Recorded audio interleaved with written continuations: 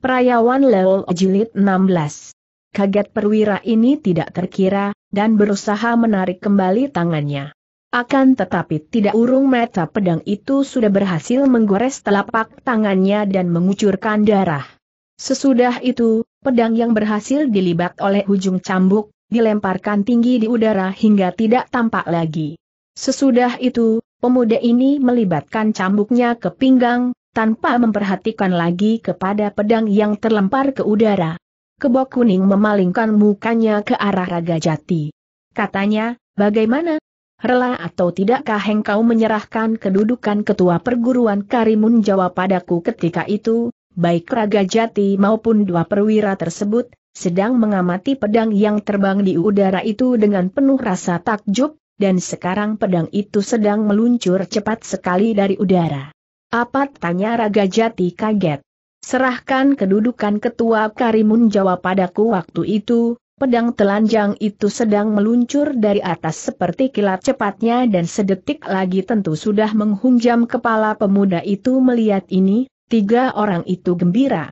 Dalam hati berkata, mampus kau namun apa yang terjadi kemudian sungguh membuat tiga orang ini melongo keheranan.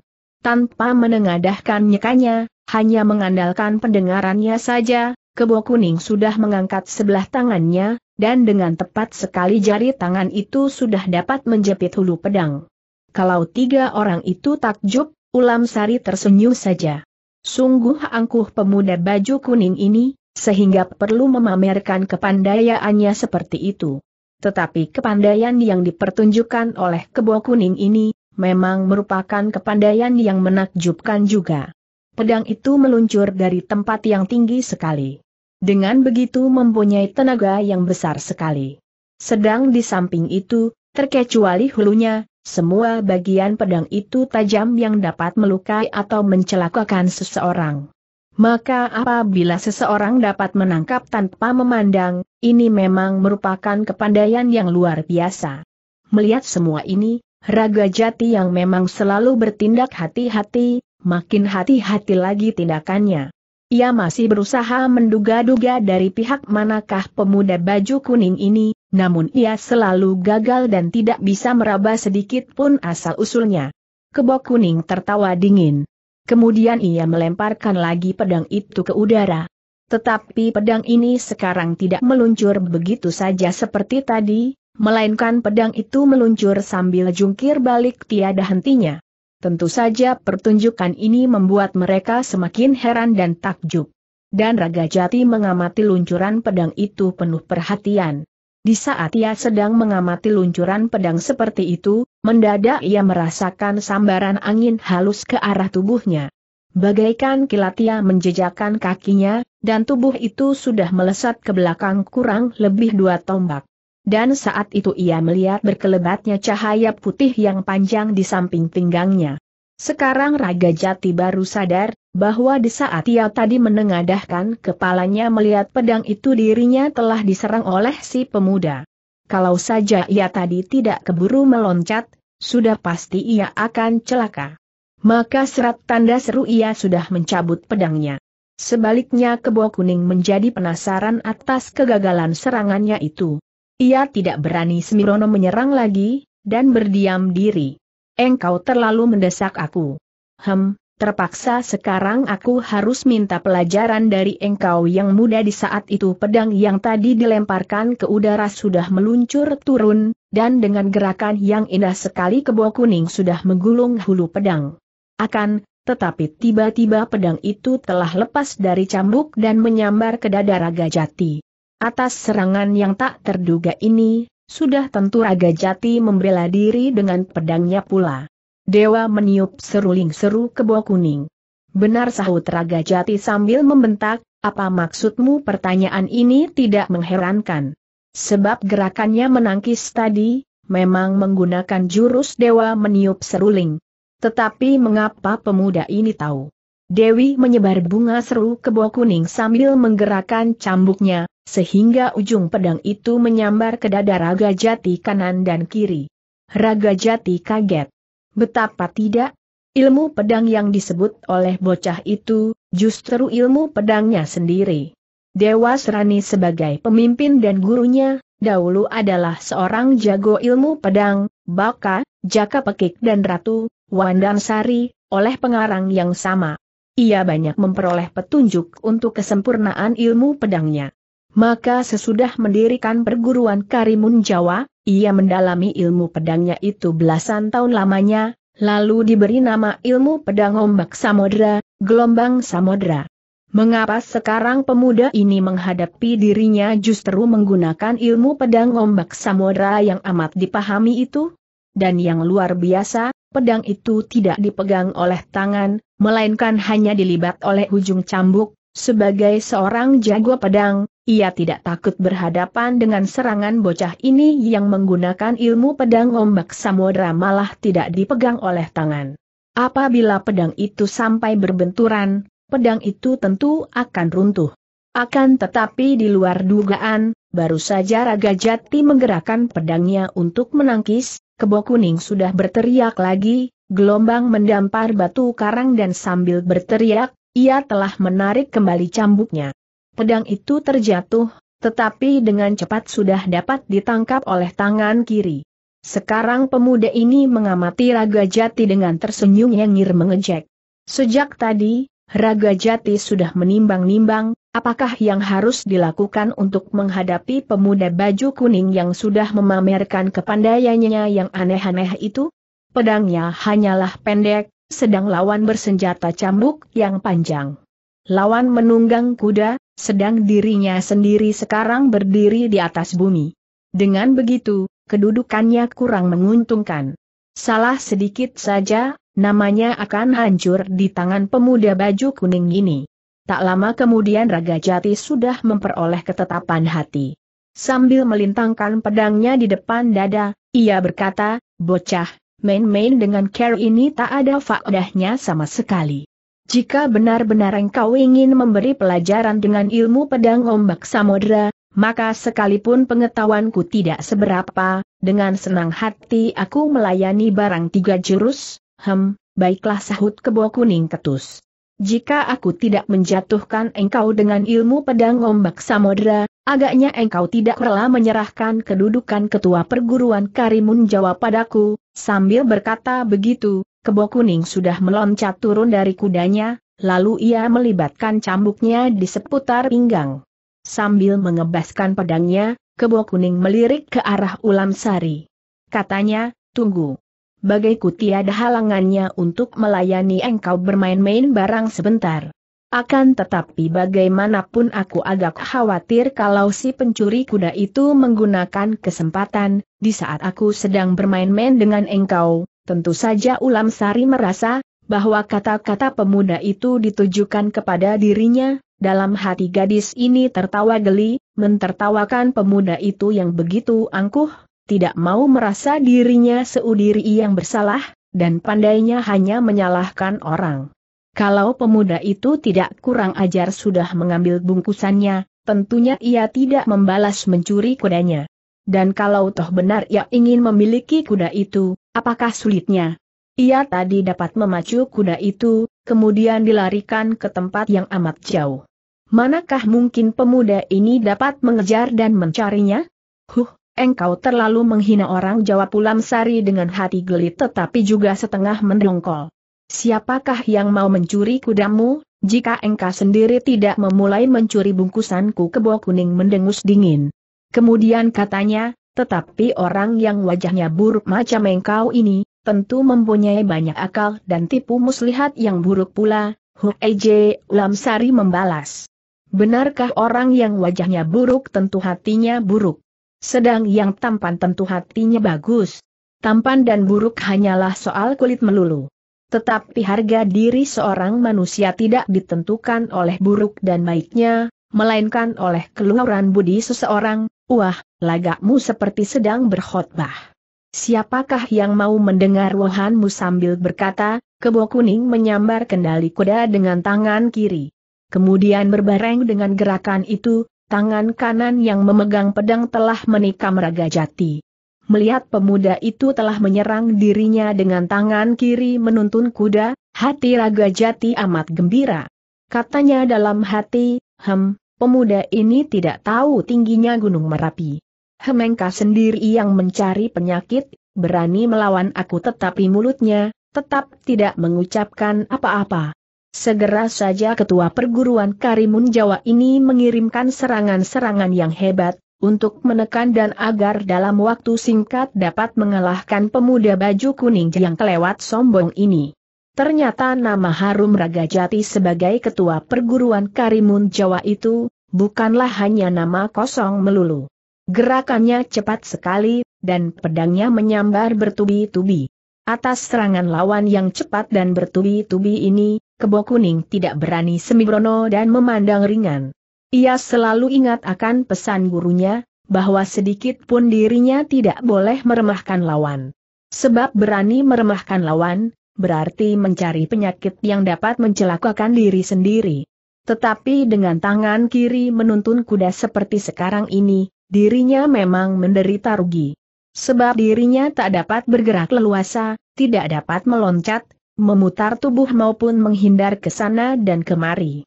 Dengan demikian, kedudukan kebo kuning memang tidak di tempat yang menguntungkan.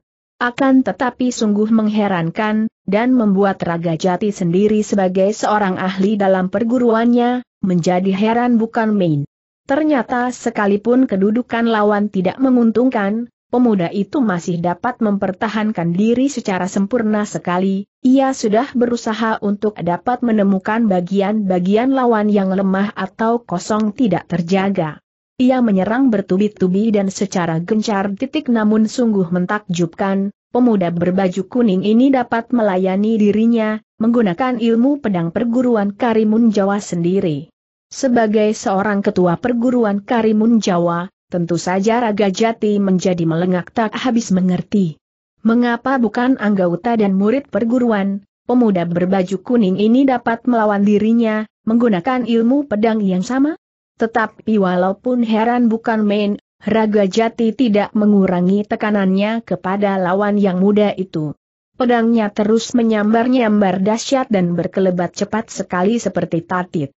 Pendeknya ia tetap tidak percaya bahwa ada seorang semuda ini, sampai dapat merobohkan dirinya, menggunakan ilmu pedangnya sendiri, yang sudah ia yakini puluhan tahun lamanya. Perkelahian adu ilmu pedang yang terjadi antara kebo kuning dengan raga jati ini, justru terjadi di tengah jalan Baar. Tentu saja jalan ini banyak dilewati oleh orang maupun para pedagang yang mempertahankan hidup dari berdagang. Melihat terjadinya perkelahian yang seru di tengah jalan itu orang-orang yang lewat menjadi tertarik dan menonton. Hanya bagi mereka yang hatinya kecil dan takut melihat menyemburnya darah saja, cepat-cepat meninggalkan tempat itu. Maka dalam waktu tidak lama, jumlah orang yang menonton makin bertambah banyak. Setelah bergebrak lebih 20 jurus lamanya, Raga Jati tersenyum dalam hati. Tahulah ia sekarang akan rahasia pemuda baju kuning ini. Jelas sekali bahwa pemuda ini pernah mempelajari ilmu pedang perguruannya, hanya ia tidak tahu dari siapakah pemuda ini memperoleh pelajaran itu. Tetapi sekalipun telah mempelajari, terbukti bahwa pemuda baju kuning ini ilmu pedangnya masih kurang sempurna. Pada bagian-bagian yang sulit pemuda baju kuning ini belum bisa menyelami. Namun mengapa, dirinya belum juga dapat mengalahkan lawan yang muda ini? Persoalannya terletak bahwa pemuda baju kuning ini menguasai beraneka ragam ilmu tata kelahi dari beberapa perguruan. Hingga dengan modal pengetahuan yang serba sedikit itu, dapatlah pemuda ini berkelahi menurut kebutuhan atau pihak manakah yang sedang dihadapi. Apabila pada suatu ketika terdesak, pemuda ini akan segera menolong diri dengan serangan-serangan aneh yang mirip dengan gerak ilmu pedang perguruan Karimun Jawa sebagai akibat macam ragamnya ilmu tata kelahi yang berhasil dikuasai oleh pemuda baju kuning ini, menyebabkan Raga Jati tak juga kuasa mengalahkan kebo kuning. Sambil melawan pemuda baju kuning ini, ia melirik dan sempat melihat bahwa jumlah penonton yang memenuhi jalan itu, makin lama menjadi semakin banyak. Melihat ini, sudah tentu Raga Jati menjadi malu. bukan saja karena ia merasa dirinya sebagai ketua perguruan yang cukup terkenal, namun juga merasa malu bahwa dirinya seorang tua berkelahi melawan seorang muda. Dan lebih lagi, si pemuda sekarang ini tidak dapat bergerak leluasa. Sambil berkelahi, tangan kirinya tetap memegang kendali kuda. Bukankah ini berarti bahwa sebenarnya saja pemuda itu sudah sengaja menempatkan diri pada pihak yang lemah? Karena seorang berkelahi, setiap tangan kanan bergerak mesti perlu diimbangi oleh tangan kiri untuk membantu. Akan tetapi pemuda ini ternyata dapat melawan secara baik sekali, sekalipun dalam keadaan tidak dapat bebas bergerak. Kalau saja sekarang ini, perkelahiannya berakhir tanpa ada yang kalah dan menang, itu pun dirinya sudah kehilangan muka. Sebab dalam melawan, pemuda ini sudah dalam kedudukan mengalah begitu rupa. Sedang dirinya, dengan bebas dapat bergerak, menyerang, menangkis menghindar maupun berloncatan ke sana kemari. Kalau sampai melawan pemuda ini saja dirinya tidak mampu, manakah ada harga bagi dirinya menghadiri pertemuan yang diselenggarakan oleh Pangeran Kajoran itu? Diam-diam Ulam Sari yang menonton itu pun menjadi haran. Nyatalah bahwa pemuda yang sudah mencuri bungkusannya itu, bukanlah seorang pemuda sembarangan. Dan apabila mengingat pemuda itu membawa kuda mustika milik Damayanti, jelas pula bahwa pemuda ini tentu mempunyai hubungan yang dekat sekali dengan gadis itu. Tetapi anehnya mengapa ketika dirinya menggembleng diri di lumbung kerep, ia tidak pernah bertemu dengan pemuda yang mengaku bernama Kebo Kuning ini. Karena tertarik Ulam Sari segera memperhatikan secara seksama gerak-gerik pemuda itu dalam berkelahi. Akan tetapi setelah memperhatikan secara teliti, tiba-tiba saja gadis herwajah juga ini ketawa cekikikan seorang diri. Hai hai hik, hai hai hik, kalau saja saat sekarang ini tidak sedang repot melayani Raga Jati, Pemuda baju kuning itu tentu sudah mendamprat dan menegur gadis wajah buruk itu. Sebab ia merasa bahwa ketawa perempuan itu ditujukan pada dirinya. Kenyataannya memang, bahwa ketawa ulam sari itu ditujukan kepada kebo kuning. Setelah gadis yang mengenakan kedok penutup muka yang buruk ini memperhatikan, tahulah ulam sari akan kunci rahasianya. Ternyata pada dasarnya kebo kuning menggunakan ilmu pedang sekti mandraguna peninggalan Ronggolawe. Hanya saja pemuda itu memang cukup pintar. Dalam bergerak pemuda itu pandai menyesuaikan diri, meniru gerakan orang. Dengan begitu sesungguhnya kebo kuning melawan dengan ilmu pedang sekti mandraguna, hanya saking cepatnya bergerak, sulit bisa diketahui oleh lawan. Dalam pada itu Raga Jati menjadi amat penasaran di samping amat malu. Dirinya seorang ketua, perguruan Karimun Jawa, manakah dirinya masih mempunyai muka berhadapan dengan para pembantu dan murid-muridnya, kalau dirinya dapat dikalahkan oleh orang dengan ilmu pedang perguruannya sendiri? Saking malu dan penasaran, maka ia menjadi lupa akan kedudukannya sebagai ketua perguruan dan seorang yang lebih tua tingkat umurnya. Ia tidak segan-segan lagi dalam menyerang dan menghujani tikaman-tikaman berbahaya. Malah sambil mengerahkan semangat, Raga Jati sekarang mulai mengeluarkan ilmu-ilmu simpanannya. Yang sesungguhnya ilmu ini jarang sekali ia pertunjukkan atau ia pergunakan berkelahi, kalau tidak sedang berhadapan dengan tokoh sakti mandraguna yang alot. Begitu menggunakan ilmu-ilmu simpanannya, Serangan pedangnya sekarang menyambar dahsyat dan bertubi-tubi disertai oleh angin yang amat kuat. Berkat latihannya yang sudah puluhan tahun lamanya, ilmu pedang itu sudah mendarah daging sehingga dapat bergerak secara leluasa. Sebagai akibatnya pula, sekarang kebo kuning dikurung oleh sinar pedang, sehingga tidak mungkin dapat lolos lagi. Dua orang perwira Mataram itu menjadi gembira, dan merasa pasti pula pemuda itu akan segera roboh tidak bernyawa. Adapun orang-orang yang menonton pun sekarang hatinya merasa tegang dan khawatir pula, kalau pemuda itu tubuhnya hancur oleh tikaman yang bertubi-tubi. Sebaliknya Ulam Sari mengamati dengan bibir tersenyum-senyum. Gadis ini tahu bahwa bagaimanapun kebo kuning tidak dalam keadaan bahaya. Tubuh kebo kuning telah dilindungi oleh sinar pedang yang tak mungkin dapat diterobos oleh senjata lawan.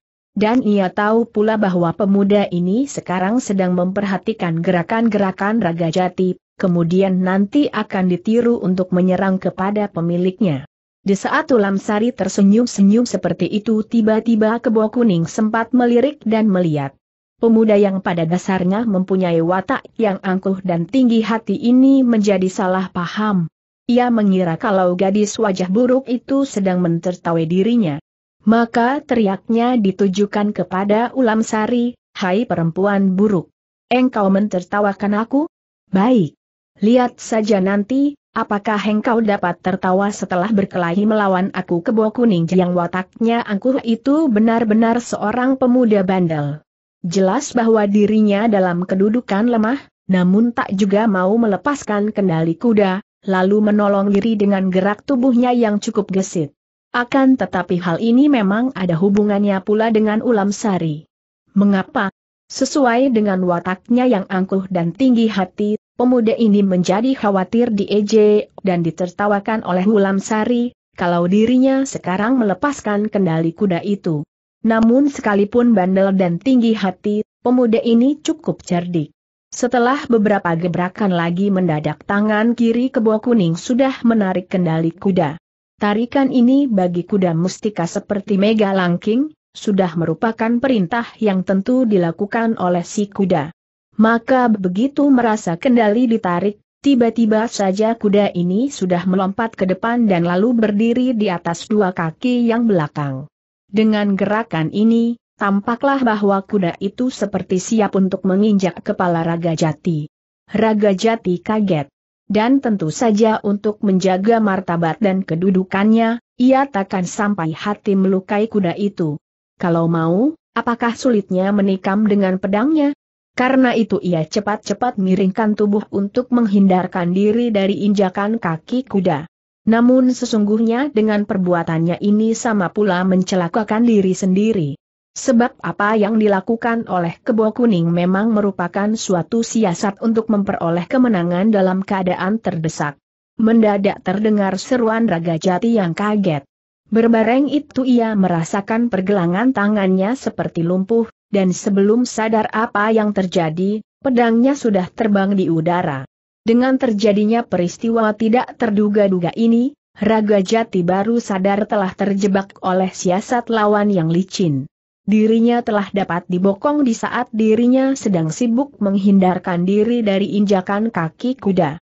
Walaupun Raga Jati bukanlah ahli pedang kelas utama, namun ia sudah terhitung ahli pedang yang jempolan. Selama ini dengan pedangnya ia dapat membuat nama perguruan Karimun Jawa menanjak tinggi dan memperoleh nama baik dalam masyarakat. Tetapi mimpi pun tidak bahwa hari ini, dirinya harus kalah hanya melawan seorang pemuda yang masih hingusan. Tentu saja ia menjadi penasaran bukan main secepat kilat ia sudah melompat ke belakang, ke arah kudanya ditambatkan dengan gerakannya yang cepat seperti tatit. Ia sudah menyambar cadangan pedang yang diselipkan di pelana kuda. Raga Jati memang seorang yang selalu berhati-hati dalam melakukan perjalanan. Ia tidak pernah lupa membekal cadangan pedang. Sebab siapa tahu di tengah jalan pedang yang dibawanya itu lepas dari tangan? Dengan cadangan pedang apabila sebatang lepas dari tangan, ia masih dapat menggunakan pedang cadangan. Nah ternyata sikapnya yang selalu hati-hati ini sekarang ada gunanya. Begitu pedangnya terlempar ke udara oleh pemuda itu, sekarang dirinya masih dapat melawan lagi dengan pedang yang baru diambilnya. Akan tetapi sebelum Raga Jati dapat berbuat apa-apa, mendadak suatu sinar yang panjang menyambar ke udara. Raga Jati terbelalak kaget dan menengadahkan mukanya ke angkasa. Terang terdengarlah suara benturan senjata yang nyaring di udara. Ternyata, sinar yang menyambar tadi adalah pedang kebo kuning yang dilontarkan ke udara. Yang mentakjubkan justru pedang itu dapat secara tepat membentur pedang Raga Jati yang baru meluncur turun. Dan sebagai akibat benturan pedang itu, maka pedang Raga Jati yang sedang meluncur turun telah patah menjadi dua potong. Di lain saat dengan gerakan yang amat indah, Kebo Kuning telah menangkap pedangnya yang luncur turun dengan jepitan jari tangan. Melihat itu mendadak saja wajah Raga Jati pucat dan terpaku. Dan dua orang perwira Mataram yang tadi sudah berseri-seri itu pun, sekarang menjadi pucat pula wajahnya. Begitu menyambut kembali pedangnya yang luncur dari udara, kebo kuning sudah menerjang kepada Raga Jati sambil bersesu, awas. Aku menyerang engkau dengan tipu ombak samuderan Rajang Karang Ombak samuderan Rajang Karang artinya gelombang samudera menerjang batu karang. Raga Jati tidak mau mengalah saja tentunya. Ia sudah menyambut serangan dengan pedangnya. Terang. Ayah begitu pedang berbenturan. Raga Jati berseru kaget. Sebab mendadak saja pedang cadangannya ini telah patah menjadi dua. Jadi sekarang dua batang pedang miliknya itu, semuanya telah patah menjadi dua potong. Hingga ia tidak lagi memiliki pedang. Mengapa bisa terjadi begitu? Sekali bentur pedang Raga Jati patah, di antara manusia-manusia yang hadir di tempat itu, hanya Kebo Kuning sendiri dan Ulam Sari, yang tahu akan sebabnya. Dalam menyerang tadi, Kebo Kuning memang menggunakan lagi siasatnya yang licin. Di saat menerjang untuk menyerang, Kebo Kuning tadi memang benar-benar menyerang dengan tipu ombak samudran Rajang Karang. Akan tetapi ketika dua pedang itu hampir berbenturan, Mendadak saja pemuda ini telah merubah pukulannya, menggunakan ilmu sekti mandraguna. Akibatnya tangkisan raga jati tadi mengenakan tempat kosong, tidak berhasil membentur pedang lawan. Justru di saat itu, pedang kebo kuning menyambar untuk menghantam. Raga jati pun sadar pula bahwa pedangnya membentur tempat kosong. Akan tetapi ia tidak sempat untuk menarik pedangnya, karena gerakannya kalah cepat. Untuk menolong diri Raga Jati cepat-cepat menyalurkan tenaganya. Tetapi ternyata ini pun sudah terlambat, sehingga pedangnya sudah terbentur oleh pedang lawan dan patah menjadi dua potong. Maka ketua perguruan Karimun Jawa ini sekarang tinggal dapat menyesal dirinya sendiri, justru semua itu akibat kalah tangkas bersiasat. Setelah dua batang pedangnya berturut-turut dapat dipatahkan oleh lawannya yang masih muda ini, Raga Jati menjadi sadar bahwa tiada gunanya lagi meneruskan berkelahi. Maka sesudah ia menyambar potongan pedangnya, Raga Jati sudah meloracap ke atas punggung kudanya, kemudian menggerakkan kendalinya sambil berteriak. Aku mengaku kalah di tanganmu, dan sekarang juga aku akan kembali ke tempat asalku. Hem, Aku berjanji akan menghabiskan sisa hidupku ini tanpa memegang pedang lagi. Akan tetapi bagaimanakah aku dapat menjawab kalau ada orang bertanya, siapakah pemuda yang sudah mengalahkan aku kebo kuning tertawa. Kemudian jawabnya lantang, namaku kebo kuning tetapi tiba-tiba pemuda ini telah menggerakkan kendali kudanya, sehingga ia bersama kudanya telah mendekati Raga Jati. Begitu tiba di samping Raga Jati, tampak kebo kuning mengucapkan kata-katanya yang amat perlahan. Orang lain tak dapat mendengar, kecuali Raga Jati seorang. Entah apa yang diucapkan oleh kebo kuning. Mendadak saja wajah Raga Jati berubah pucat. Kemudian nampak orang tua ini ketakutan. Ah seru Raga Jati yang amat terkejut. Kalau saja aku tahu sejak tadi, manakah mungkin aku berani melawan engkau? Ahaha, Sudahlah selama tinggal kebo kuning tidak menjawab, ia hanya menepuk pantat kuda mustika mega langking. Mendadak saja kuda itu sudah melompat, lalu meluncur seperti terbang lewat di atas kepala puluhan orang yang sedang membuntu jalan. Kemudian kuda itu sudah lari cepat sekali, dan dalam waktu singkat sudah tidak nampak lagi. Tentu saja semua orang memandang dengan henan dan mulut ternganga. Selama hidup baru sekali ini saja menyaksikan kuda yang dapat terbang. Apakah kuda yang dikendarai oleh pemuda baju kuning tadi, kuda sembrani, yang menurut cerita dapat terbang itu? Dalam cerita wayang, ketika mudanya Begawan Drona dapat melompati laut karena mengendarai seekor kuda betina. Kuda itu kemudian menjadi istrinya. Namun ternyata kemudian bahwa kuda itu bukan kuda biasa, melainkan penjelmaan dari bidadari Walotama. Dari perkawinannya ini lahirlah Haswatama seorang manusia tetapi kakinya kaki kuda. Mungkinkah pemuda baju kuning itu pun mempunyai kuda sembrani yang dapat terbang? Kebo kuning mengaburkan kudanya dengan wajah berseri dan hati riang. Betapa tidak? Dalam waktu sehari saja dirinya telah berhasil mengalahkan dua orang tokoh tertinggi dari dua perguruan. Apakah ini tidak hebat? Saking riang dan gembira, kebo kuning menembang-nembang.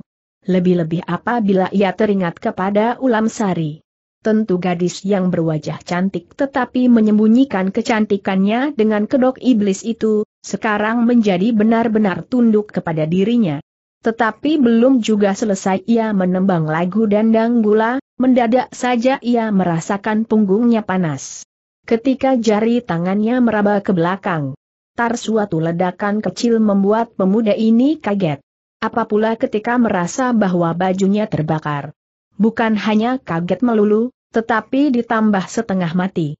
Dengan gerakannya yang indah, ia sudah meloncat dari punggung kudanya lalu di udara berjungkir balik.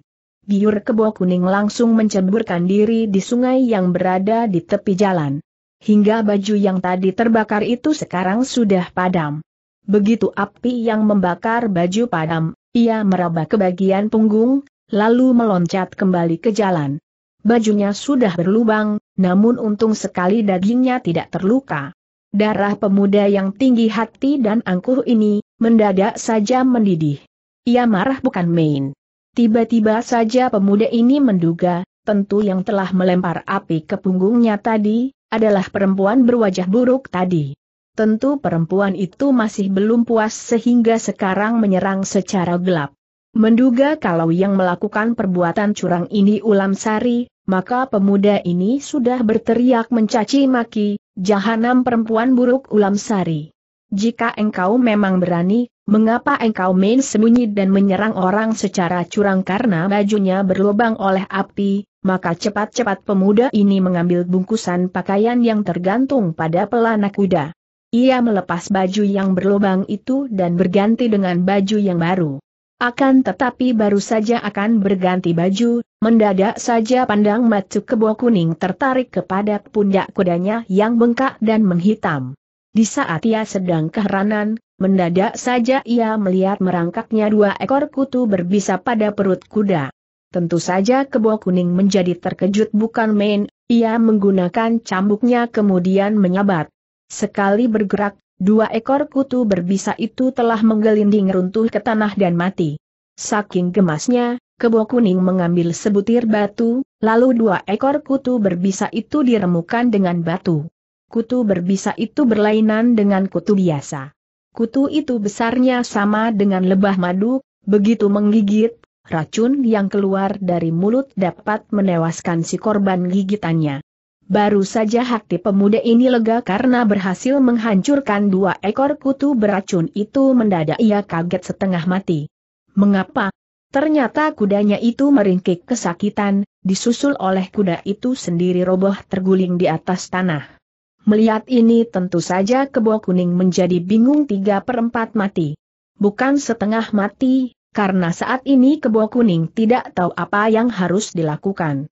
Kembali dugaannya tertuju kepada Ulam Sari. Maka dalam bingungnya ini, mulutnya sudah berteriak lagi mencaci maki Ulam Sari, Hai Ulam Sari yang wajahnya buruk seperti iblis. Engkau jahanam. Engkau perempuan terkutuk.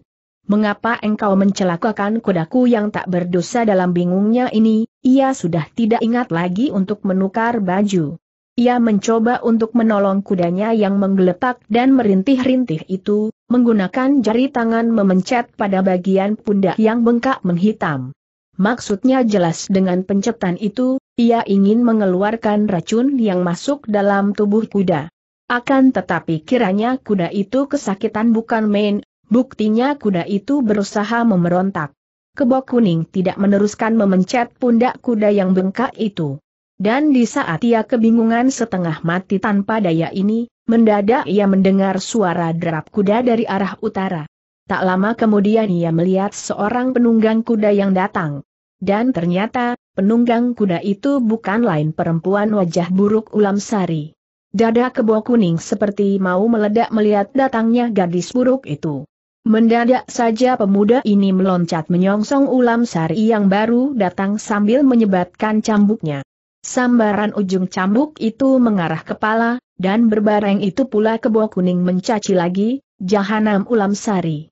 Engkau hanya pandai mencari kelengahan orang. Huh apakah perbuatanmu ini pantas dilakukan oleh seorang yang mengaku sebagai ksatria Lamsari menangkis dengan ranting kayu yang tadi diambil dalam perjalanan. Akibatnya cambuk itu terpental. Hai, mengapa engkau menuduh aku seperti itu tanya Ulam Sari sambil ketawa cekikikan. Hai hai hik, enak saja engkau mencaci maki orang, dalam pada itu berbareng dengan terpentalnya cambuk oleh tangkisan si gadis wajah buruk, kebo kuning merasakan lengannya kesemutan. Memang ia tahu bahwa sekalipun wajahnya jelek, tetapi gadis itu tidak dapat dipandang ringan. Akan tetapi dalam kalapnya ia sudah mencaci maki lagi. Bangsat! Mengapa engkau masih juga bertanya? Bukankah engkau telah menggunakan binatang kecil beracun untuk mencelakakan kuda tungganganku? Huhuh, apakah itu bukan merupakan perbuatan jahanam terkutuk hai hai hik, aku menjadi geli kata ulam sari sambil tetap cekikikan, sama sekali tidak marah dicaci maki macam itu. Ya, aku pun tidak bisa menyalahkan engkau, kalau saja engkau lekas menjadi kalap dan menuduh seperti itu. Hai hai hik, namun begitu hei kebodunglu. Aku ingin bertanya padamu. Bagaimana engkau bisa memastikan kalau ulam sari yang wajahnya jelek seperti aku ini, yang sudah menurunkan tangan jahat dan curang padamu? Mendadak saja pemuda ini menjadi kaget. Bukan saja atas jawaban gadis wajah buruk itu. Tetapi juga apa yang tampak di depannya. Mengapa?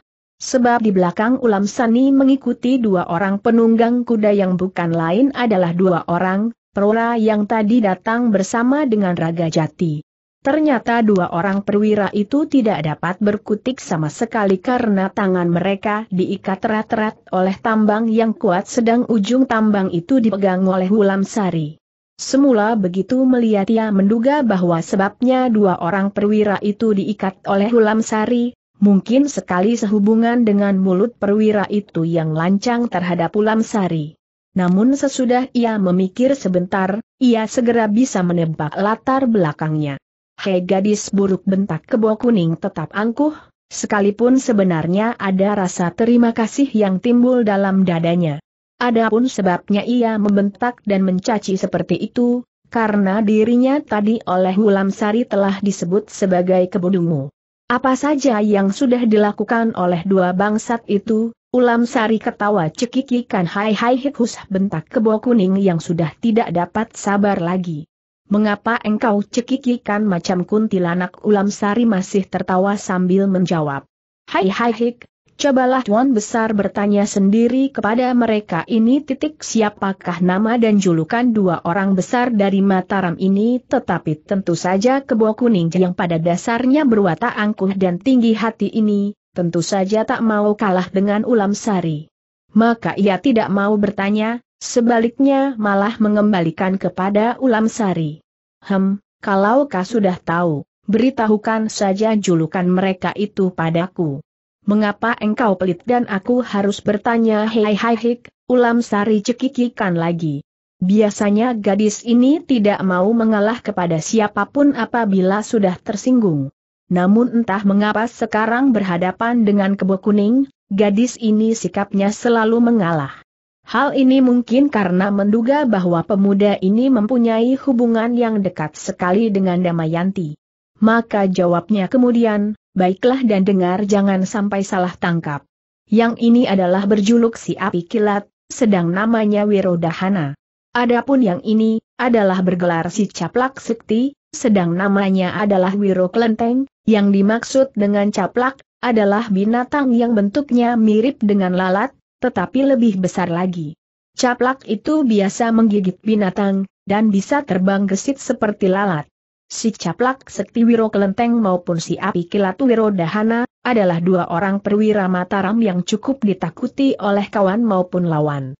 Mendengar penjelasan ulam sari itu, Tentu saja pemuda ini segera tahu siapakah yang telah menyerang dengan api dan siapa pula yang telah melepas kutu beracun pada kuda tunggangnya, sehingga sekarang roboh dan menderita keracunan. Kemudian kebo kuning dapat menduga pula, bahwa dua orang itu telah melakukan kecurangan, di saat dirinya sedang sibuk berkelahi dengan Raga Jati. Dan sudah barang tentu kebo kuning menjadi amat marah sekali, atas pekerjaan dua orang ini yang curang. Maka tanpa membuka mulut dan tidak mengucapkan sepatah kata pun, pemuda ini sudah mengayunkan cambuknya. Tar tar tar, tar tar tar, cambuk itu meledak enam kali di udara, dan seperti kilat cepatnya ujung cambuk itu telah membagi serangan kepada dua orang perwira tersebut, masing-masing tiga kali. Karena saat sekarang ini baik si api kilat Wiro Dahana maupun si caplak sekti Wiro Kelenteng terikat erat-erat pada kuda, maka sama sekali dua orang perwira itu tidak dapat menghindar dan menyelamatkan diri. Dan akibatnya hebat. Hampir bersamaan waktunya dua orang perwira itu telah mengucurkan darah pada muka dan kepalanya. Lekas engkau keluarkan obat pemunah untuk kudaku atau tidak tanda seru Hardi Kebo Kuning dengan sikap yang bengis. Jika engkau malas, awas. Cambuku ini bisa meremukan kepalamu. Tahu tar tar tar, Kebo Kuning mengayunkan cambuknya tiga kali berturut-turut ke sebatang pobon yang berdiri di pinggir jalan.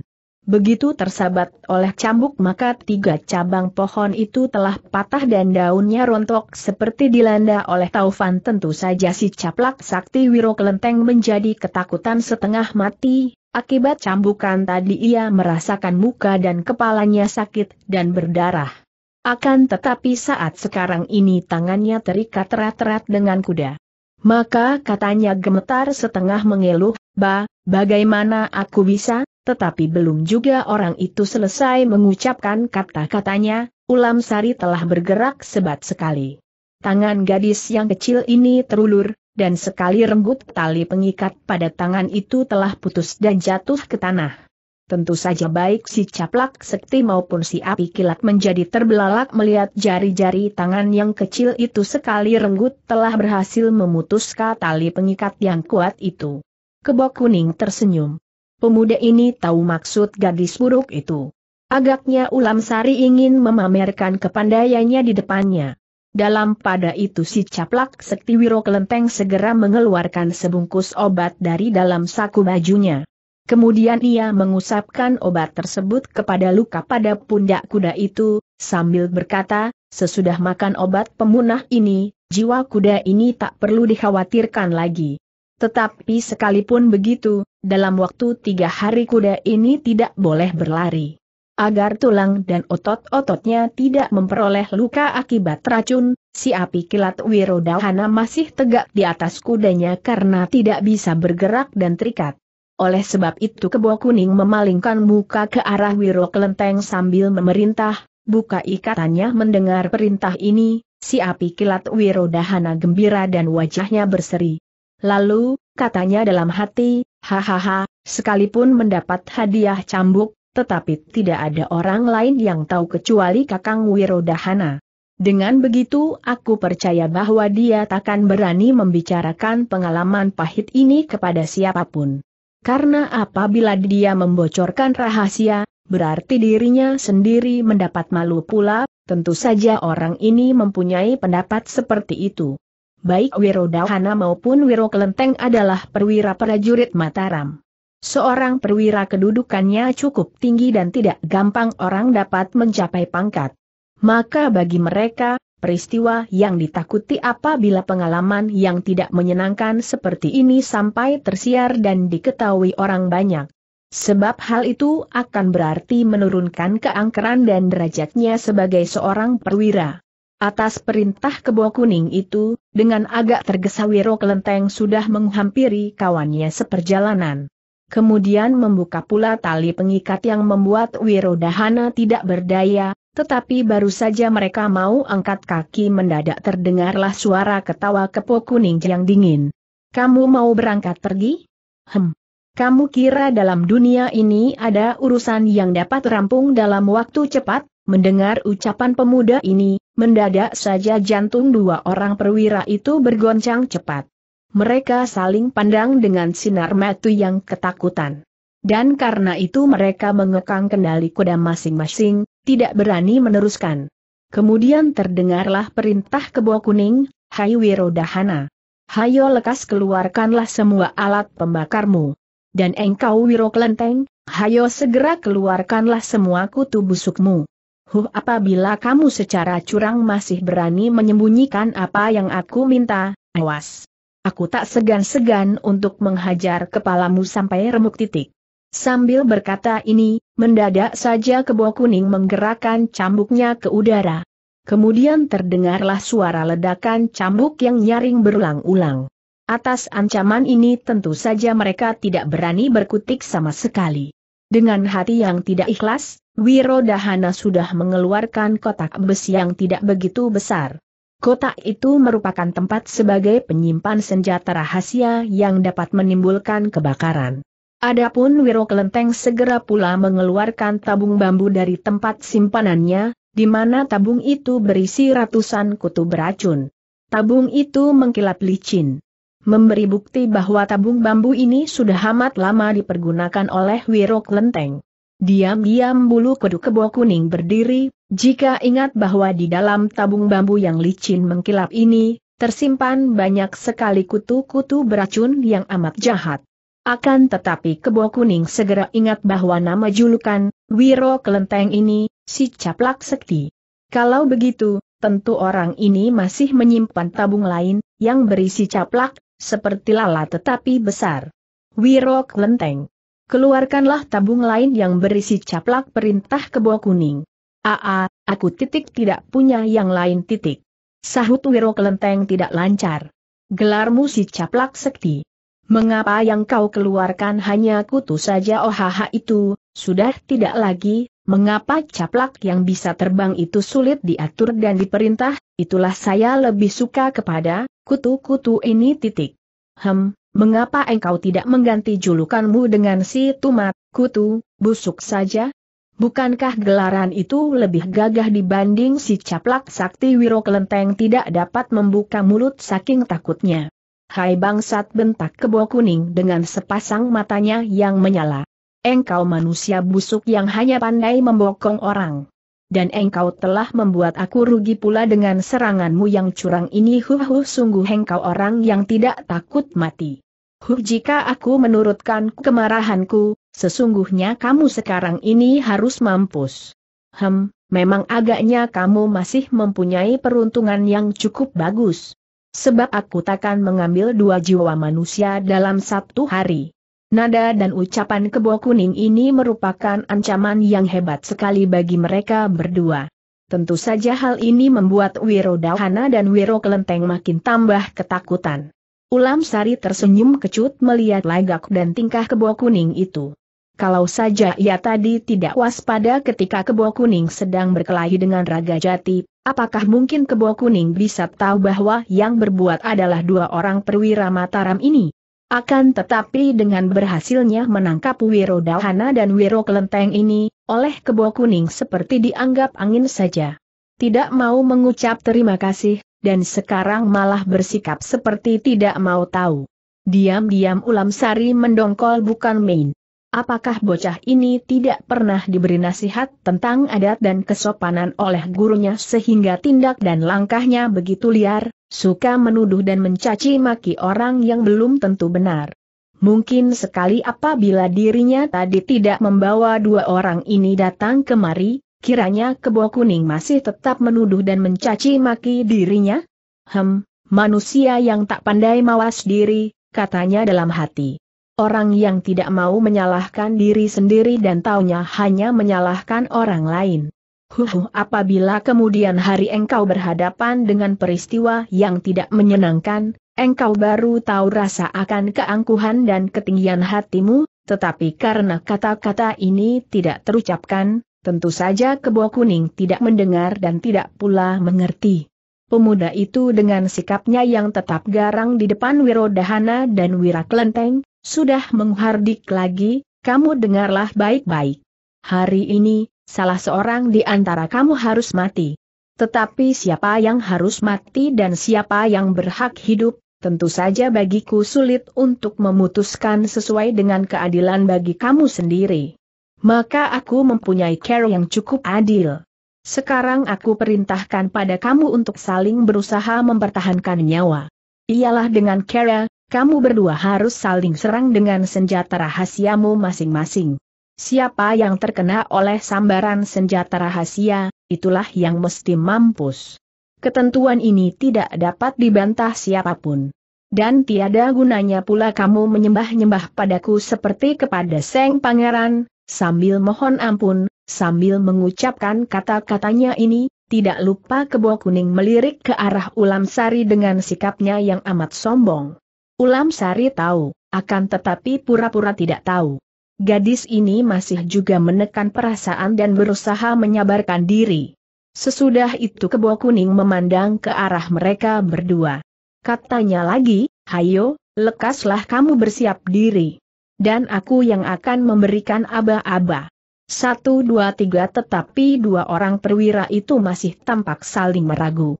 Mereka belum dapat mengerti sepenuhnya akan maksud pemuda ini.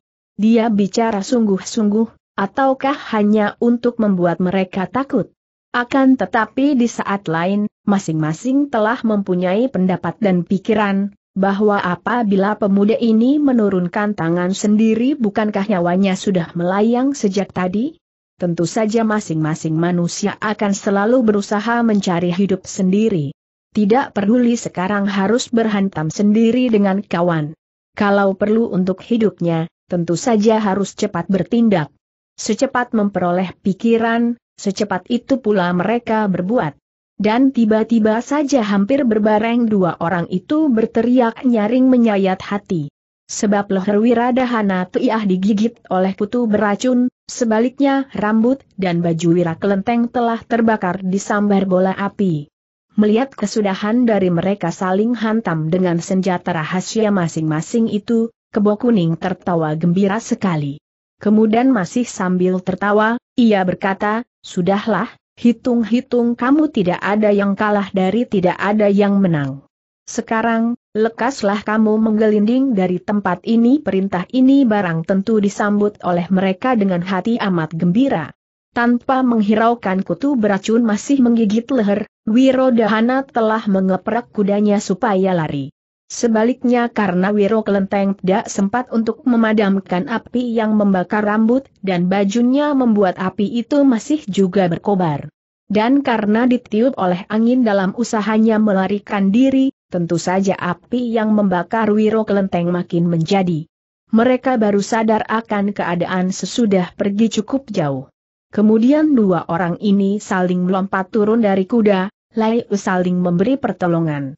Bagaimanapun, Dua orang perwira Mataram ini penasaran dan mendongkol bukan main.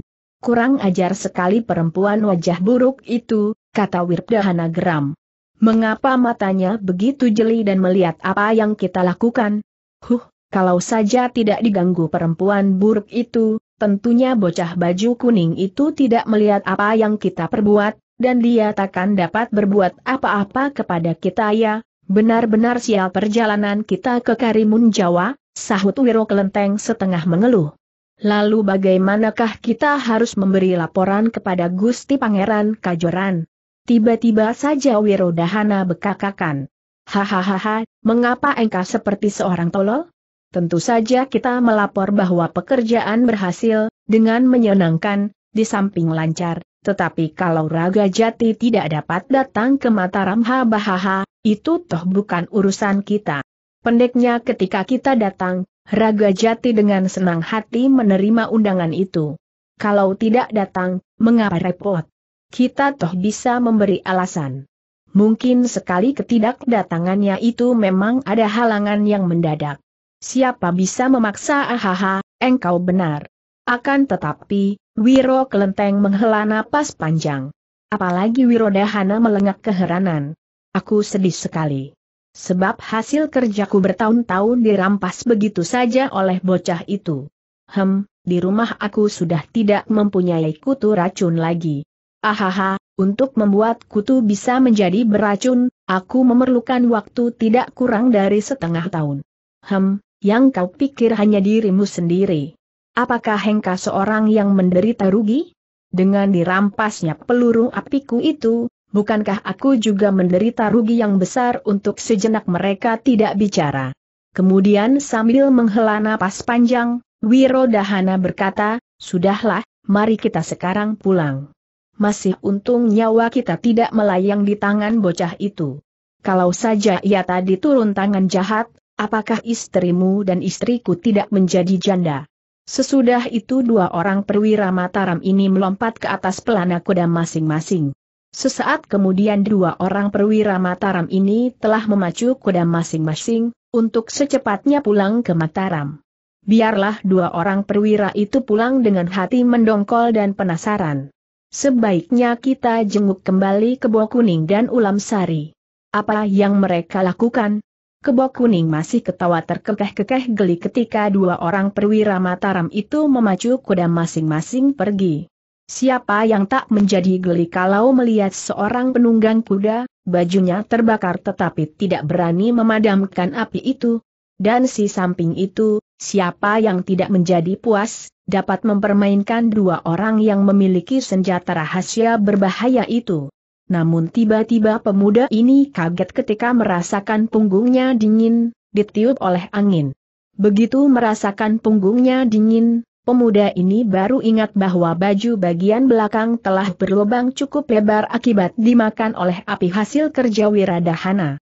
Ia melirik ke arah gadis wajah buruk itu, dan ternyata Ulam Sari sedang mengamati ke arah dirinya dengan bibir menyungging senyum. Tentu saja ia menjadi malu berbareng mendengkol. Ia tahu bahwa saat ini sedang diejek oleh gadis itu. Tentu bocah perempuan wajah buruk Iiu menepuk dada, kalau bukan dirinya yang membawa dua orang perwira itu, manakah mungkin dirinya dapat menghajar? Minggir bentaknya tiba-tiba. Aku mau tukar baju high-hik, mau tukar baju siapa yang melarang EJ Ulam Sari sambil cekikikan tetapi di tengah jalan ini kebo kuning tambah mendongkol oleh ucapan Ulam Sari itu. Pemuda ini tanpa membuka mulut lagi, segera melompat ke dalam semak pohon. Ia menukar baju dengan warna yang sama, kuning lagi. Sesudah selesai memakai baju, ia tidak peduli lagi kepada baju yang tadi dipakai dan terbakar. Baju itu digulung, lalu dilempar ke sungai yang tak jauh dari tempat itu, ia masih mengamati baju yang hanyut di sungai itu penuh perhatian. Mendadak terdengar ucapan ulam sari, Hai hik, begitu memakai yang baru, sudah tidak ingat lagi yang lama.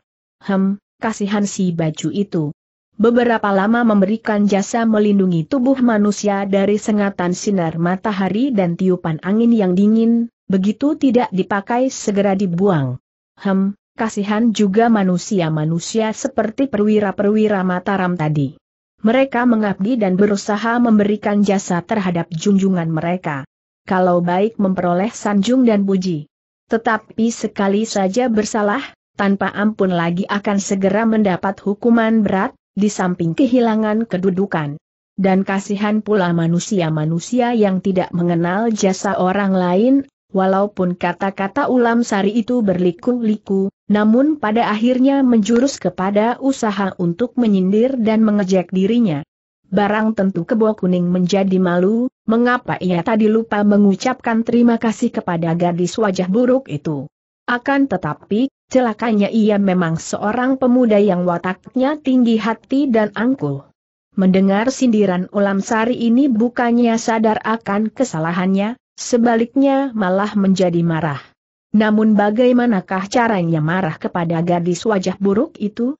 Terang-terang dirinya sendiri yang bersalah tidak mengucapkan terima kasih atas pertolongan tadi tetapi kalau tidak membalas hatinya tidak merasa puas. Mendadak, terdengar teriakan kebo kuning yang ngeri, aduh, aduh celaka. Aduh, aku digigit oleh kutu beracun mendengar teriakan pemuda itu, ulam sari kaget tetapi juga merasa geli. Mengapa pemuda ini menjadi gugup oleh gigitan kutu beracun? Kalau toh benar ada cepat-cepat dibunuh, toh tidak mengapa. Kemudian dengan menggunakan obat pemunah yang ditinggalkan oleh Wiro Kelenteng tadi, semua bahaya akan segera lewat pula. Akan tetapi ketika melihat bahwa kebo kuning tampak mencakar-cakar panggungnya, yang agaknya belum juga berhasil mengambil kutu beracun yang menggigit punggungnya itu, mendadak saja timbullah rasa iba dalam hati Ulam Sari. Pada dasarnya ia memang seorang gadis yang baik hati.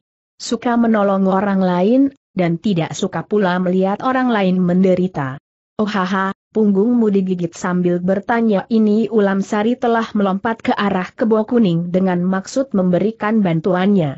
Entah mengapa sebabnya, Ulam Sari sendiri tidak tahu. Kepada pemuda ini ia tidak dapat benci sekalipun sepak terjang pemuda itu sering membuat ia mendongkol dan tidak senang. Maka begitu melihat kebo kuning kebingungan mencakar-cakar punggung, ia menjadi bingung pula. Tetapi justru kebaikan hati gadis ini, yang membuat gadis itu sendiri celaka. Ulam Sari memang pintar, akan tetapi sekali waktu bisa ditipu orang juga. Selagi Ulam Sari meloncat dan tubuhnya masih terapung di udara, mendadak kebo kuning telah mendorong dengan tenaga yang amat kuat. Inilah serangan secara curang yang tidak terduga-duga.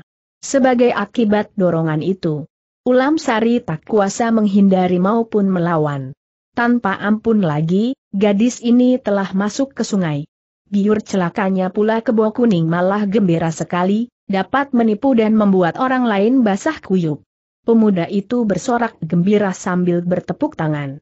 Hahaha, sudah dapat berapa ekor ikankah engkau, nona kecil? Ah, tetapi mengapa mencari ikan, pakaianmu basah kuyup?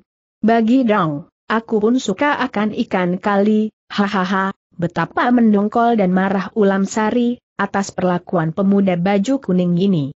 Ia tidak tahu bagaimana harus marah kepada pemuda itu. Ternyata kebaikannya malah dibalas dengan perlakuan yang tidak pantas. Ia tidak membuka mulut untuk membalas ejekan orang. Hanya diam-diam ia mengambil lumpur dalam kali tersebut, dengan pura-pura menubruk seekor ikan. Uaha kau benar. Ini namanya serba kebetulan. Aduh, ikan yang besar, mendengar ulam sari mendapat ikan yang besar, dan gadis itu tidak memperdulikan pakaiannya yang basah tetapi malah bergerak menubruk seperti orang benar-benar menangkap ikan di kali, kebo kuning jadi tertarik.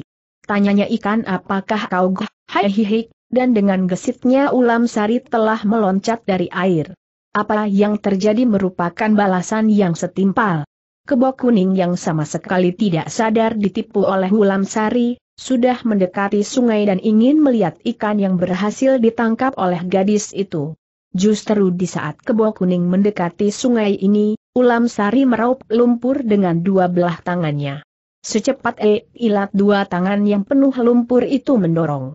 Dan akibatnya, Tak ampun lagi wajah dan pakaian kebo kuning basah kuyup oleh lumpur. Ulam sari geli dan cekekikan merasa dapat membalas, dan ia tidak memperdulikan pakaiannya yang basah, mengamati pemuda itu dengan mengejek. Ketika itu keadaan kebo kuning memang basah kuyup oleh lumpur. Bukan saja pakaiannya kotor, tetapi juga wajah dan tangan yang tadi berusaha menangkis. Sulit diketahui bagaimanakah perasaan kebo kuning saat itu, akan tetapi tampak bahwa kebo kuning marah. Mendadak saja kebo kuning membentak sambil melompat untuk menubruk. Budak kecil berwajah buruk. Agaknya engkau memang ingin dihajar dengan kekerasan Ulam Sari terkejut sekali dan buru-buru meloncat melarikan diri. Ulam Sari merupakan seorang gadis jago lari. Pantasnya begitu meloncat menghindar, kebo kuning tidak dapat berdaya. Namun, pada kenyataannya kebo kuning pun seorang pemuda yang dapat bergerak gesit, dan merupakan seorang jago dalam hal meringankan badan. Hal itu sudah terbukti ketika pemuda ini mengacau perguruan Wanasalam. Ia dapat menundukkan tokoh perguruan Wanasalam dengan berkelahi di atas puluhan cangkir ulam sari lari berputaran, tetapi celakanya selain dapat dihadang oleh kebo kuning bukan melulu menghadang, akan tetapi kebo kuning yang berlepotan lumpur itu berusaha memeluk dengan dua belah tangannya. Dalam keadaan khawatir, orang sering menjadi lupa. lupa bahwa dirinya sendiri dalam keadaan basah kuyup.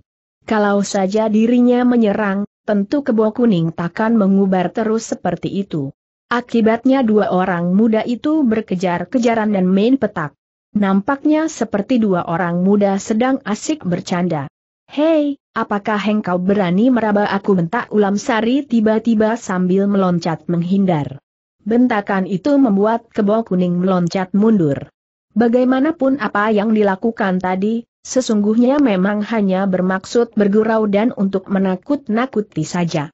Dalam pada itu, walaupun gadis ini sekarang tampaknya berwajah buruk, tetapi sesungguhnya di dalamnya tersimpan wajah yang cantik jelita bagai dewi. Maka pemuda ini kemudian berdiri mematung, tetapi matanya selalu mengamati gadis itu. Hai kebodungu hardik ulam sari. Apakah engkau tidak merasa bahwa aku sudah berbuat kebaikan terhadap engkau? Tetapi mengapa sebabnya aku memberi air susu dan engkau membalas dengan air tubaih? Kapankah Nona memberi air susu pada aku goda kebo kuning? Ulam sari nampak berjengit kaget. Kalau saja pada saat sekarang ini wajah itu tidak tertutup oleh kedok, kebo kuning tentu dapat melihat bahwa wajah itu berubah merah karena malu. Kurang ajar. Mulutmu kotor bentaknya. Benar, mulutku memang kotor. Salah siapa engkau melempar lumpur ke mukaku goda kebo kuning lagi, yang ketika itu memang sekitar mulutnya banyak lumpur. Kebodungu memang kebotolol hardik ulam sari lagi. Maksudku, orang diberi kebaikan, mengapa engkau malah membalas tidak baik tetapi ternyata di samping berwatak tinggi hati dan angkuh, kebo kuning pandai pula bersilat lidah. Ia tidak mau mengakui jasa orang yang sudah diperuntukkan dirinya. Dan pemuda ini segera menjawab secara menyimpang, eh Nona, apakah engkau tahu bahwa aku tadi benar-benar mengalahkan Raga Jati dengan ilmu pedang perguruan sendiri kalau saja ia bicara dengan orang lain, kebo kuning memang dapat mengelabui. Tetapi bicara dengan ulam sari, mana mungkin dapat menipu. Maka jawab ulam sari sambil ketawa cekikikan, hai hai hik, engkau bisa menipu Raga Jati dan orang lain, tetapi engkau takkan dapat menipu aku. Benar nampaknya engkau tadi melawan Raga Jati dengan ilmu pedang yang sama. Akan tetapi engkau menggunakan siasat dan kelicinan bagai bulus. Apakah sang kamu aku tidak tahu terbelalak juga kebo kuning atas sindiran ulam sari itu. Namun tentu saja ia takkan mau mengalah begitu saja.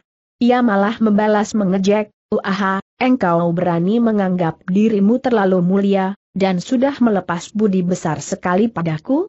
Hayo sekarang aku bertanya padamu, bagaimanakah engkau bisa mengetahui bahwa dua orang perwira Mataram tadi telah menyerang aku secara curang mendongkol sekali ulam sari mendengar kata-kata pemuda sombong ini. Saking mendongkol, ia tidak segera memberi jawabannya.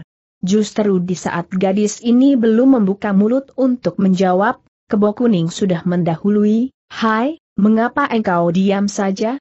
Jika begitu, benar apa yang aku pikir, bahwa sesungguhnya sama sekali tidak menerima budi baik dari engkau, sesungguhnya saja Ulam Sari memang tidak ingin membicarakan jasa dan kebaikannya. Namun oleh sikap pemuda ini, bagaimanapun ia mendongkol. Ia ingat bahwa dirinya sendiri basah kuyuk dan perlu segera mengganti pakaian. Sebaliknya pemuda itu pun kotor, perlu mandi dan ganti pakaian pula. Oleh sebab itu katanya kemudian, sudahlah, semuanya dapat kita bicarakan nanti. Sekarang engkau kotor dan perlu mandi. Sebaliknya aku yang basah kuyup oleh perbuatanmu, perlu ganti pakaian pula. Lekas, pergilah ke sungai, kebo kuning menyeringai, namun kemudian pergi pula ke tepi sungai, bersembunyi di balik batu, lalu melepaskan pakaiannya dan masuk ke sungai. Begitu pemuda itu sudah mandi, Ulam Sari merasa aman untuk berganti pakaian. Akan tetapi begitu selesai mengganti pakaian, mendadak saja timbullah pikirannya yang bagus. Ia akan membalas pemuda itu. Dengan berindap-indap Ulam Sari mendekati tumpukan pakaian yang baru saja habis dicuci oleh kebo kuning, Kemudian sekaligus ia menyambar pakaian basah itu berikut bungkusan pakaian cadangan milik pemuda itu. Katanya dalam hati, Hem ketika aku di Demak dia telah mencuri bungkusanku. Maka sekarang datanglah saatnya aku membalas mengambil semua pakaiannya. Hai hai hik, aku ingin melihat, apakah dia bisa pergi dengan kuda mustika itu tanpa pakaian gerakan ulam sari cepat sekali, sehingga kebo kuning yang waktu itu sedang merendam tubuh di sungai dan membersihkan lumpur yang mengotori tubuhnya tidak tahu sama sekali.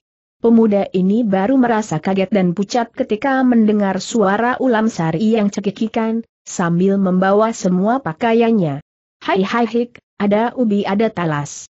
Engkau telah membuat aku kebingungan, karena bungkusanku engkau curi. Sekarang aku terang-terangan mencuri bungkusanmu. Hai hai hik, engkau mau apa sambil berkata dan cekikikan ini, kemudian ulam sari melompat lalu lari. Ulam sari. Ulim Sari. Aduh, aku kapok. Aku taubat. Kembalikan bungkusan itu teriak kebo kuning yang kebingungan. Untuk meloncat ke darat tidak berani, tetapi kalau harus merendam diri seperti ini juga berabe. Kalau tidak malu sesungguhnya pemuda ini ingin menangis. Pemuda ini kembali berteriak-teriak memanggil Ulum Sari. Namun gadis ini pura-pura tidak mendengar, dan sambil berlarian gadis ini ketawa cekikikan saking geli. Ia dapat membayangkan, bahwa pemuda itu tentu baru berani mendarat apabila hari telah gelap. Sebaliknya karena teriakannya tidak memperoleh tanggapan, dan ulam sari tidak juga muncul dan mengembalikan bungkusannya, kebo kuning menjadi amat mendengkol. Tidak tercegah lagi pemuda ini sudah menyumpah-nyumpah dan mencaci maki ulam sari kalang kabut. Ulam sari mengeprak kuda tunggangannya masih sambil terpingkal-pingkal. Baru kali ini sajalah, ia merasa geli yang sangat. Bergurau yang sampai kelewat batas, akan tetapi tidak melanggar kesopanan. Sudah cukup jauh gadis ini melarikan kudanya. Namun gadis ini belum juga berhenti tertawa. Bagi orang yang tidak tahu mungkin saja cepat menganggap bahwa gadis yang wajahnya buruk ini merupakan seorang gila. Kalau tidak gila, manakah mungkin orang ketawa di sepanjang jalan? Hai hai hik titik hai hai hik. Di saat gadis ini masih ketawa cekikikan dan gemas suara ketawanya masih memantul-mantul, mendadak gadis ini menghentikan ketawanya. Kemudian pandang mata gadis ini dicurahkan ke arah seorang nenek yang telah bongkok tubuhnya, melangkah perlahan menyusuri jalan berbatu dengan ditopang tongkat. Dengan tubuh yang sudah bongkok, rambut telah putih, kulit keriput bisa diduga usia nenek tua ini. Kiranya tidak kurang dari 70 tahun, akan pergi ke manakah nenek yang sudah bongkok tubuhnya ini? Dan mengapa pula bepergian hanya seorang diri? Mungkinkah nenek yang sudah tua pikun ini tidak mempunyai keluarga, sehingga tidak seorang pun yang mengikuti? Kalau benar nenek yang telah pikun ini memang tidak mempunyai keluarga, ah, sungguh kasihan. Dirinya sendiri bisa disebut sebagai seorang hidup sebatang kara. Tiada ayah bunda lagi, dan tiada pula saudara. Teringat akan nasibnya ini, mendadak saja ia menjadi khawatir. Benar sekarang dirinya masih muda, masih kuat lari atau melangkah jauh. Akan tetapi kalau sudah dimakan usia seperti nenek yang bongkok ini, betapa hidupnya akan menderita kalau masih harus mempertahankan hidupnya, dan mencari makan sendiri. Bukankah sesungguhnya, di dunia ini tidak terhitung jumlahnya orang-orang tua yang hidup menderita dan perlu dikasihani? Tetapi berapakah jumlahnya manusia di dunia ini yang sudi memalingkan muka, mengulurkan tangan kepada orang-orang macam itu. Kiranya bisa dihitung dengan jari. Namun sebaliknya apabila seseorang yang gagah dan kuat, dia akan dikerumuni oleh banyak orang, dan banyak sekali pula orang datang memberi hadiah-hadiah walaupun orang itu sudah sangat cukup. Apakah sebabnya? Bukan lain orang itu mempunyai jabatan tinggi dalam kerajaan Mataram. Mempunyai kekuasaan yang menentukan hingga dengan hadiah-hadiah yang diberikan itu, bakal memperoleh balasan sesuai dengan kebutuhannya. Teringat akan keadaan dunia yang banyak terjadi kepincangan-kepincangan dan keadaan-keadaan yang mengecewakan yang sering disaksikan itu, Ulam Sari menghela napas panjang siapakah sesungguhnya yang bersalah dalam masalah ini? Raja Mataram Sultan Agung, ataukah penggawa-penggawanya yang menyalahgunakan kesempatan dan kekuasaan? Ulam Sari meloncat turun dari kuda, lalu menghampiri si nenek tua yang melangkah terbongkok-bongkok termakan usia. Nek, engkau mau ke mana? Ahaha nenek pikun ini nampak kaget dan terhuyung-huyung.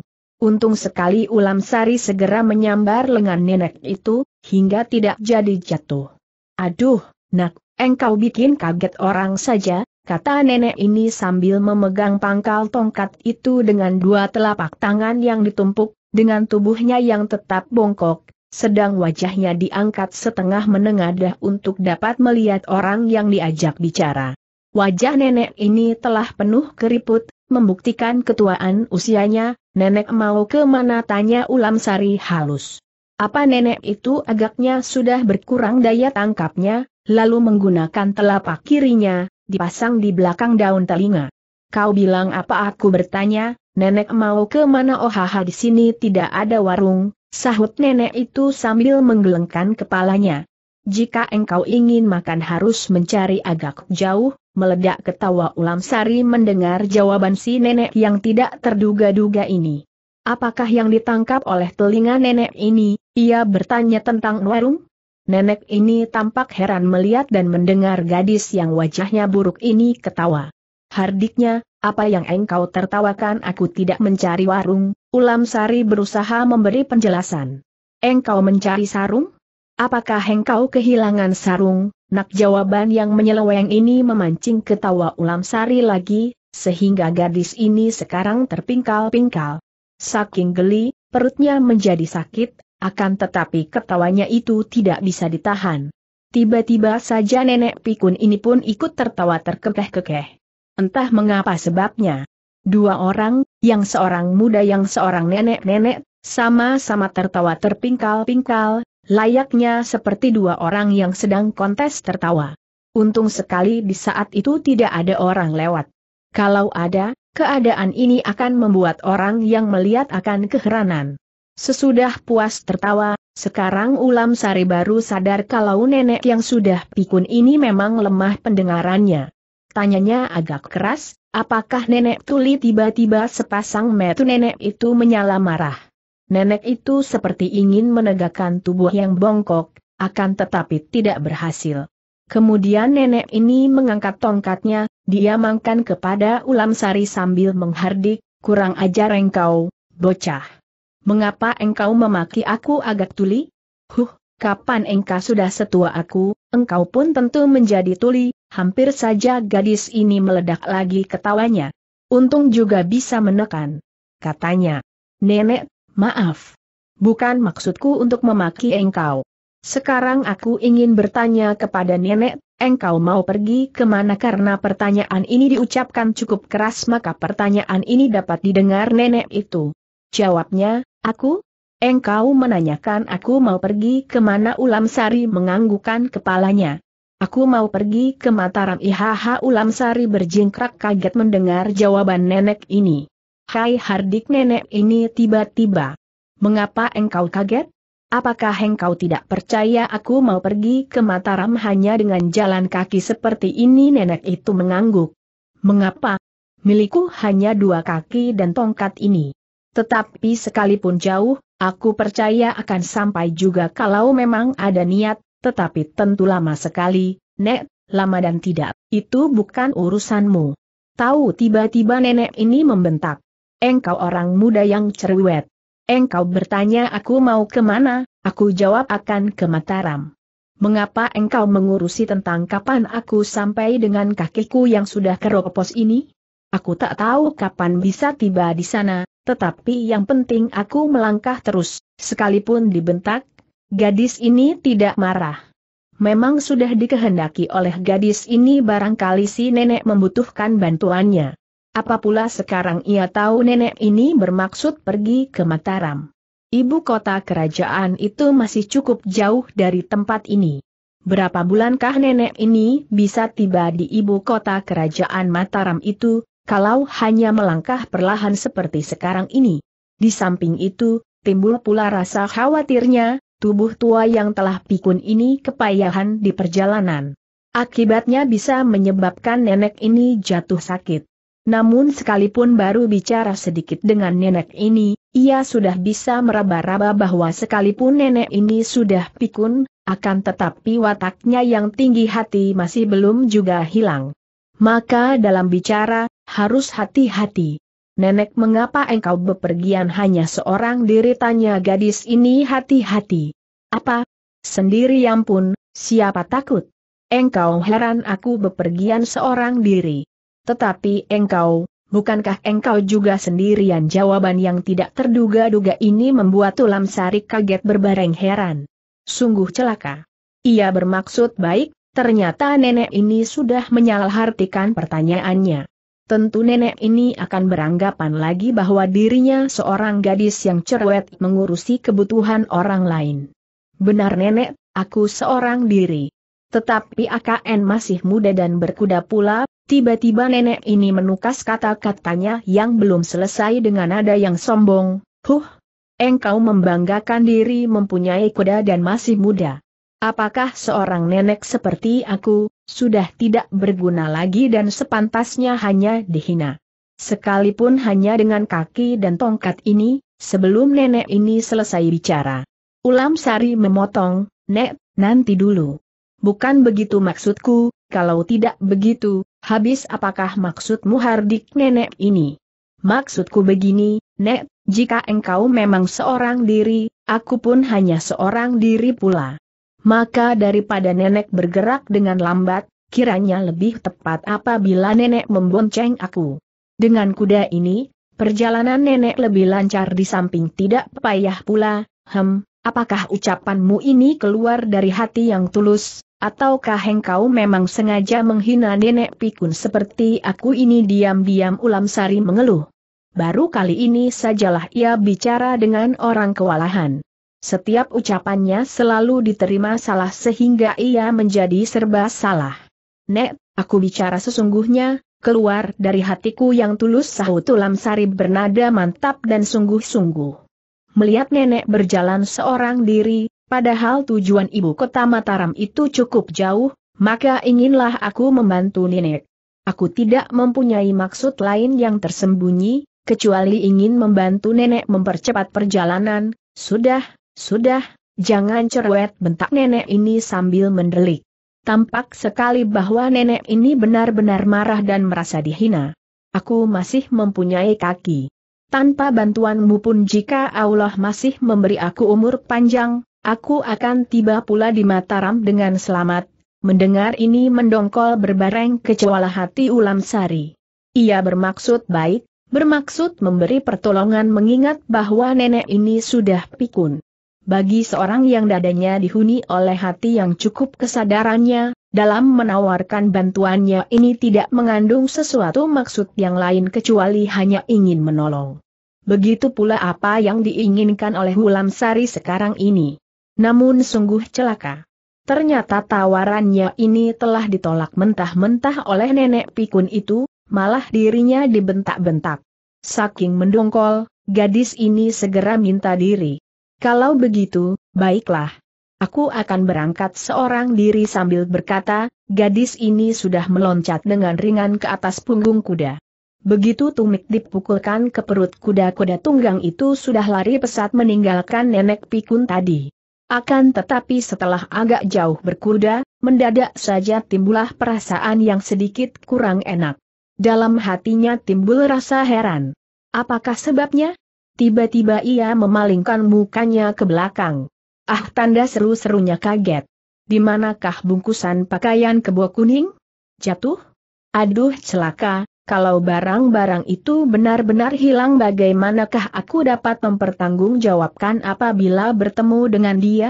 Padahal maksudku apabila bertemu dalam perjalanan nanti, aku ingin mengembalikan kepada dia sambil minta maaf, Ulam Sari menghentikan langkah kudanya kemudian menarik kendali dan berbalik haluan. Rasa hatinya tidak enak ia harus kembali lewat jalan yang tadi dilalui. Kalau benar bungkusan itu terjatuh dan belum diambil orang, tentu masih dapat diketemukan kembali. Kuda itu lari pada jalan yang tadi telah dilalui, sambil matanya meneliti sepanjang jalan. Siapa tahu kalau bungkusan milik kebo kuning itu benar-benar terjatuh. Hem, biarlah aku kembali sampai di tempat bertemu dengan nenek tadi desisnya. Kalau bertemu dengan nenek itu, ingin aku menawarkan jasa baik sekali lagi. Tetapi kalau dia bersikeras menolak, apa boleh buat, tanpa terasa, ia sudah mengulang perjalanan sampai di tempat ia tadi berbicara dengan nenek pikun itu. Mendadak sepasang mata gadis ini bersinar gembira. Memang. Dari jauh tampak bungkusan pakaian kebo kuning itu menggeletak di tengah jalan. Jadi, bungkusan itu benar terjatuh. Akan tetapi mengapa ia tidak melihat nenek pikun tadi? Ke manakah dia? Apakah nenek itu mengambil jalan lain, sehingga tidak berpapasan dengan dirinya? Dengan agak tergesa Lamsari meloncat turun dari kuda. Lalu tangannya sudah terulur untuk menyambar bungkusan pakaian kebo kuning itu akan tetapi, mendadak gadis ini kaget dan meloncat mundur dengan pucat. Mengapa? Kain pembungkus itu memang tak salah lagi, pembungkus pakaian yang tadi diambil ketika kebo kuntung masuk ke sungai. Akan tetapi sekarang, isinya sudah lain. Isi bungkusan itu sekarang bukan pakaian kebo kuning lagi. Isinya, kotoran kerbau yang masih baru. Geli-geli mendongkol berhadapan dengan peristiwa aneh ini. Siapakah yang sudah menemukan bungkusan ini, kemudian mengganti isinya dengan kotoran kerbau? Untung ia tadi tidak gegabah. Kalau gegabah, bukankah bau kotoran kerbau itu tidak sedap? Ham, gadis ini menghela napas pendek. Heran aku. Aku tidak melihat seorang pun. Tetapi mengapa isinya sudah ganti? Aduh, celaka. Aku sudah dipermainkan orang, gadis ini tiba-tiba saja membantingkan kakinya. Hatinya mendongkol dan marah namun tidak tahu kepada siapa harus marah. Untuk beberapa saat lamanya gadis ini menebarkan pandang matanya ke sekeliling. Akan tetapi tidak ada sesuatu yang mencurigakan, dan tidak melihat pula seorang pun. Sayang, nenek itu tadi sudah tidak nampak. Kalau saja masih nampak, tentu ia bisa bertanya kepada nenek pikun tadi. Akhirnya dengan hati mendongkol, heran dan uring-uringan, gadis ini meloncat kembali ke atas kuda. Tentang semua pakaian kebo kuning yang hilang itu, ia akan bicara terus terang dan minta maaf, apabila memperoleh kesempatan dapat bertemu. Mudah-mudahan saja pemuda yang angkuh dan tinggi hati itu tidak marah. Ulam Sari memacu kudanya cepat-cepat, langsung menuju ke Mataram. Hati gadis ini merasa tertarik sekali atas pertemuan para tokoh sakti yang diselenggarakan oleh Pangeran Kajoran. Di samping ia akan mencari tambahan pengalaman, ia pun ingin mengetahui apa sesungguhnya maksud Pangeran Kajoran menyelenggarakan pertemuan itu. Pertemuan itu mengandung maksud tidak baik ataukah bermaksud untuk mengumpulkan sekalian orang sakti, untuk memperkuat kedudukan Mataram? Dalam perjalanan ini mendadak saja ia teringat akan ucapan Sindu, kakeknya ketika itu. Ketika bertemu dengan dirinya dan memberitahukan, bahwa pembunuh ibunya adalah Sungsang. Ketika itu Sindong menyatakan ingin pula pergi ke Mataram. Adapun maksudnya akan menyerahkan keris pusaka Kiai Sengklat, sesuai dengan pesan Empu Supo. Maka ia berharap, di Mataram dapat bertemu dengan kakeknya itu. Dengan Sindu berada di sampingnya, hatinya akan menjadi lebih besar dan merasa aman. Tanpa terasa, pada suatu hari tibalah gadis ini di ibu kota Mataram. Gadis ini, yang belum pernah datang ke Mataram merasa heran dan kagum. Dalam kota banyak sekali rumah-rumah gedung yang besar. Pada mulanya ia agak bingung ke mana harus menuju, dan di mana pulakah letak rumah Pangeran Kajoran itu? Namun wajah gadis ini segera berubah menjadi cerah dan gembira ketika kudanya yang melangkah seenaknya didahului oleh serombongan orang berkuda dan yang paling depan seorang perwira, berjajar dengan seorang kakek yang masih nampak gagah. Melihat ini Ulam Sari segera dapat menduga, tentu mereka ini termasuk tamu pangeran Kajoran. Ternyata dugaan gadis ini benar. Rombongan orang yang diantar oleh perwira itu memang menuju ke gedung Pangeran Kajoran. Sebagai rumah seorang pangeran dan adik raja, maka rumah itu dikelilingi oleh tembok yang tinggi dan tebal. Pekarangannya amat luas, dan bangunan yang ada di dalamnya pun juga berderet-deret. Agaknya persiapan memang sudah diatur begitu rapi, dalam usahanya menyambut kehadiran para tamu undangan. Buktinya sejak di pintu gebang, rombongan tamu itu dihormat oleh para prajurit yang berjaga secara sungguh-sungguh. Malah beberapa pekatik, tukang kuda, segera menyambut kuda-kuda tunggang mereka, lalu kuda tersebut ditambatkan di tempat yang sudah tersedia.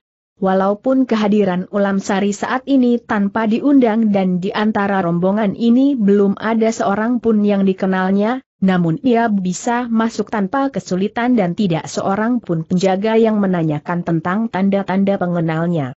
Mungkin juga hal ini bisa terjadi, karena para prajurit penjaga itu mengira bahwa Ulam Sari merupakan rombongan tamu yang baru datang ini. Setelah kuda-kuda tunggang mereka diterima oleh para tukang kuda, mereka kemudian jalan kaki melewati halaman yang bersih dan luas. Halaman ini dinaungi oleh banyak pohon sawo dan sebagai alas halaman merupakan pasir. Dengan begitu, tiada rumput yang tumbuh dan mengotori halaman ini. Oleh perwira penyambut mereka langsung diantar masuk ke dalam pendapa yang amat luas dan kokoh. Di belakang pendapa masih ada pula bangunan yang disebut petinggitan, baru kemudian rumah besar tempat kediaman Pangeran Kajoran. Berbeda dengan kebiasaan para bangsawan yang berlaku apabila menerima tamu. Biasanya orang dipersilahkan duduk ngelesot di atas lantai yang sudah dibentangkan tikar di atasnya. Kali ini Pangeran Kajoran menerima kehadiran para tamu yang terdiri dari macam-macam golongan ini dengan meja dan kursi yang telah diatur sedemikian rupa. Hingga pendapa yang luas berikut petinggitan itu, semua penuh oleh kursi dan meja. Agaknya Pangeran Kajoran mengerti, bahwa para tamu yang diundang sekarang ini, merupakan tokoh-tokoh sakti dari seluruh penjuru wilayah Mataram. Para tokoh itu biasanya angkuh dan tidak mau peduli kepada urusan negara maupun kerajaan. Seakan mereka-mereka itu hidup merdeka di luar segala ikatan apa pun. Mereka merasa merdeka dan tidak mau diperintah oleh raja yang berkuasa sekalipun. Maka apabila tamu-tamu ini diterima dan disuruh duduk mengelesot di alas tikar, tentu tidak mau dan lebih baik membatalkan kehadirannya.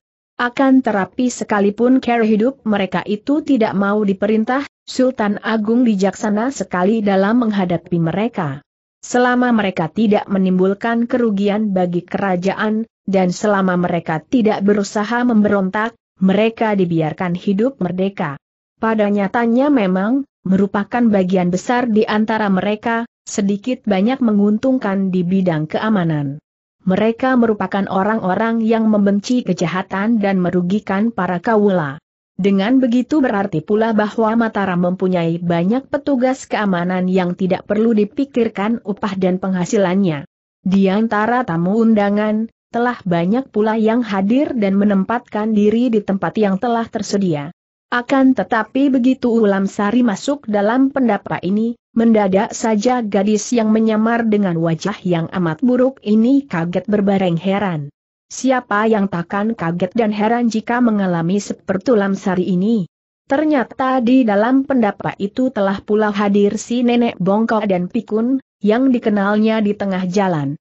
Siapa yang tidak menjadi kaget berbareng heran, justru nenek yang langkahnya sulit itu, malah dapat hadir di tempat ini lebih awal daripada dirinya? Dirinya sendiri memacu kuda tunggangannya cepat-cepat dan langsung ke Mataram. Akan tetapi mengapa sebabnya nenek pikun itu dapat hadir lebih dulu?